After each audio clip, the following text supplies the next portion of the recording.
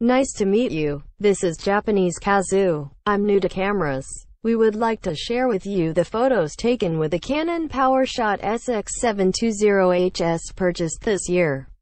I'm new to cameras, so I'd like to shoot whatever I like, regardless of the subject.